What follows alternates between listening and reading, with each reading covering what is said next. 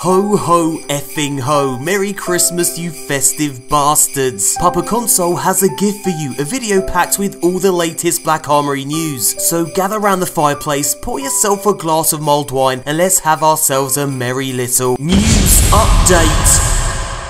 Right then people, let's get down to business. Ever since the Black Armory drop, things have gone a little bit mental. Due to overwhelming player feedback, Bungie decreased the power requirements for the new Forge activity. It's the studio's quickest ever game update coming only a day after the launch of this DLC. So yeah, we'll definitely be talking about that, plus new Dawning info, a buff to Prime Engrams, an exotic quest update, a cheeky raid tease, a look at how the Crucible's power ammo is evolving, and a preview of how Bungie is dealing with the community's most desired requests. Did anyone say no Nova Warp Nerf. What about Molesto? Surely the melting power of Wavesplitter is getting toned down. Well, keep watching, all will be revealed. Let's effing well do this.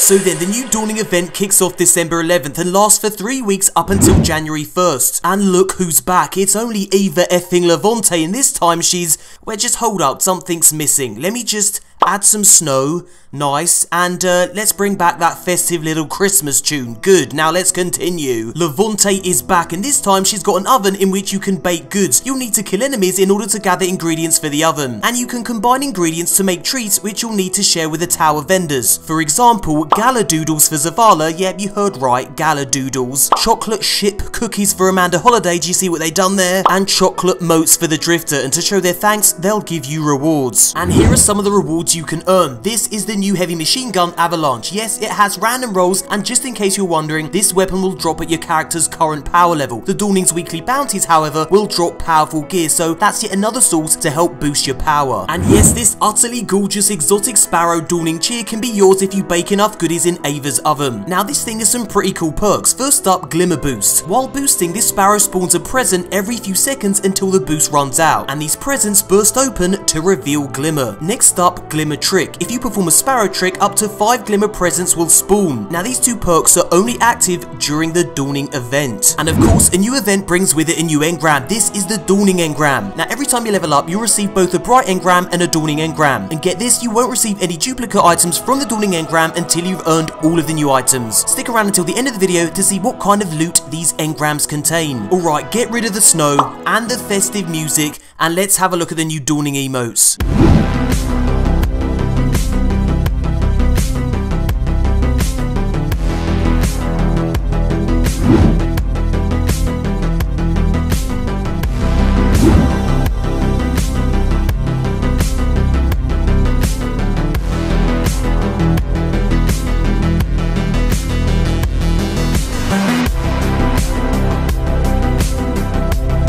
Here's one last dawning tidbit for you. Tess Everis will offer ingredient packs for Bright Dust. But before you can purchase these from Tess, you'll need to first acquire Essence of Dawning, which can be earned by playing activities in-game. Now, all players need the Essence of Dawning before they can start to bake goods in Ava's oven. Right then, back to the Forge. Like I said, only a day after the release of Black Armory, Bungie reduced the difficulty of the Forge by lowering the power level of every wave by 5. Now, for me, the most surprising thing about this is the speed with which Bungie implemented this change. Now, the Forge is still pretty challenging for anyone under the recommended 610 power level. I completed my first Forge run when I hit 610. And there's more. On December 11th, with the launch of the Dawning, players under 600 power will find that Prime Engrams drop more frequently and at higher power levels. A helping hand to make leveling up a little less painful. Now, I've completed the Forge four times now. Let's have a look at some of my loot. Okay, I'm going to start with my favourite Forge weapon, the Hammerhead. I absolutely adore the roll on this thing. So it's got high caliber rounds, it's got shield disorient, energy match shield explosion, disorients nearby combatants, but by far the best thing about this weapon is Rampage. This thing utterly tears through mobs of enemies and well pretty much anything in its path. Now it's really easy to get the max stack of three times on this thing, so you're constantly putting out increased damage. It really is an absolute mob destroying beast. Next up, the Forge Auto Rifle ringing now. Now I've got high caliber rounds, I've got Dragonfly so I can explode some heads which is always fun, and I've got Kill Clip. Check it out, the masterwork is range and I've got to say I'm having a hell of a lot of fun using this thing in PvE. It's a really decent auto rifle, so yeah, I'm going to level this up to max and bust a few heads. Now, I also got the Forge specific Sparrow anti-paladin, and I gotta say, this thing is really ugly, not a fan. And here's another Forge thing worth knowing. If you want the fishhook key, which opens the fishhook lock on the exotic mysterious box, follow these steps. Now, at the start of the second wave of the Volundr Forge, this tiny blue shield drone appears on this part of the map. Take it out. You'll also find another shield drone at the opposite end of the map. Again, you gotta take this thing out. It doesn't matter who on your fire team does the shooting, you'll all be rewarded the key. So yeah, here's the little bugger. Like I said, it doesn't matter who takes it out, so you know, do a little bit of teamwork. One of you get one, one of you get the other. Nice. Now, once you do that, a crate will spawn after the third wave. Now, we didn't kill the boss, and the crate still spawned, so there you go. Fish hook key acquired. And here it is. As you can see, it says insert the key, so that's exactly what we're gonna do. Let me insert that goddamn key and see what happens. Okay, so as you can see, the bar has slightly filled up. Fish hook lock opened. We've now got three more locks to open.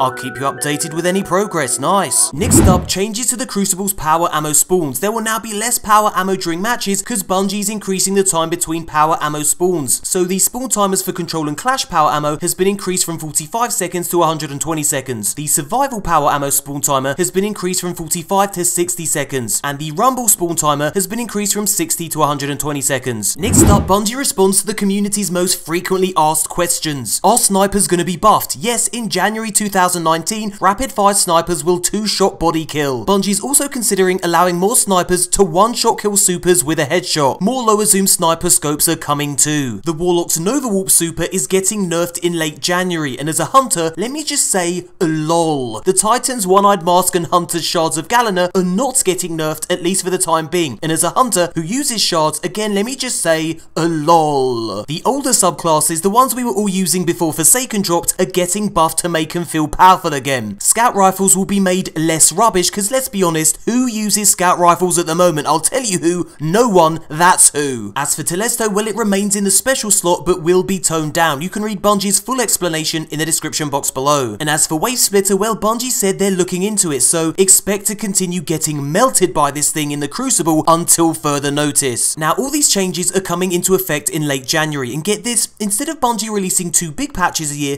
the studio will now roll out lots of smaller updates far more frequently, allowing them to address problems a lot quicker and change up the meta to keep things fresh. That's definitely a welcome change. Next up, the new raid. World's First will get the loot that you see here. Now, the raid will see players fight their way through the Lost city and recover a forgotten secret of the Black Armory. And here's a teaser hint from Bungie. You'll need a sparrow with the right perk. And here's a teaser trailer.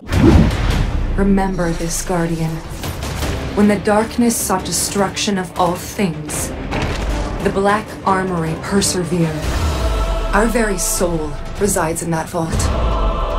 It must be secured. The Black Armory is depending on you.